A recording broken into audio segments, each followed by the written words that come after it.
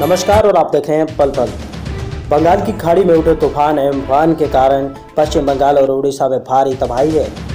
बुधवार को 190 किलोमीटर प्रति घंटे की रफ्तार से विकराल चक्रवात एम्फान के कारण भारी तबाही हुई और भारत में कुल 12 लोगों की मौत हो चुकी है।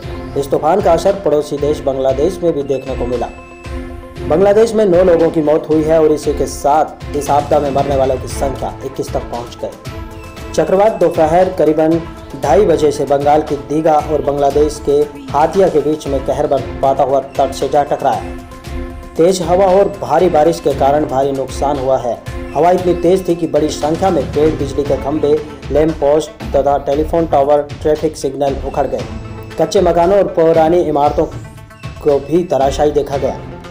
अधिकारियों के अनुसार, चक्रवात के आने से पहले पश्चिम बंगाल और उड़ीसा से लगभग कम से कम छह लाख अट्ठावन हज़ार लोगों को निकाल करके सुरक्षित स्थानों पर पहुँचाया गया था। पश्चिम बंगाल की मुख्यमंत्री ममता बनर्जी ने भी कहा है कि इस महाविनाशकारी तूफ़ान में दक्षिण बंगाल में भारी तबाही हुई है। कम से कम 10 से 12 लोगों की मौत हो चुकी है और नुकसान कितना है, इसका अंदाज़ा अभी लगाने में कुछ दिन लगेंगे।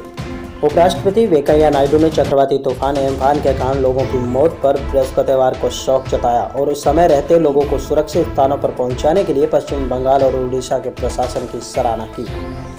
तूफ़ान की रफ्तार से बंगाल में मैदानपुरा, दक्षिण चौबीस परगना, उत्तर चौबीस परगना तथा हावड़ा, हुगली और ओडिशा के केंद्रपाड़ा, भद्रक, बालासोर, मयूरभंज, जाजपुर और जगत सिंहपुर ये सीधे प्रभावित हुए हैं। असम तमिलनाडु आंध्र प्रदेश पांडिचेरी त्रिपुरा मिजोरम मणिपुर और जम्मू कश्मीर में तूफ़ान का ऑरेंज अलर्ट है।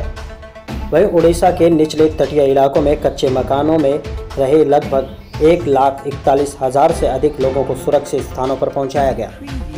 इन लोगों में 2,921 आश्रय स्थलों में रखा गया है। जहाँ पर क्षतिग्रस्त इलाकों में उखड़े हुए पेड़ों और बाधित सड़कों को युद्ध स्तर पर साफ़ भी किया जा रहा है।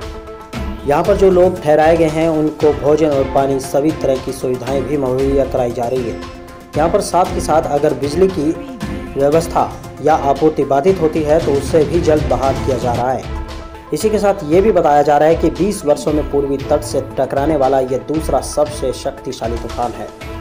मौसम विभाग के वैज्ञानिकों के अनुसार चक्रवाती तूफ़ान एम्फान रिकॉर्ड 18 घंटे में श्रेणी एक से श्रेणी पाँच के सुपर साइक्लोनिक तूफ़ान में बदल गया। एम्फान बीते 20 वर्षों में पूर्वी तट से टकराने वाला ये दूसरा सबसे शक्तिशाली तूफ़ान है।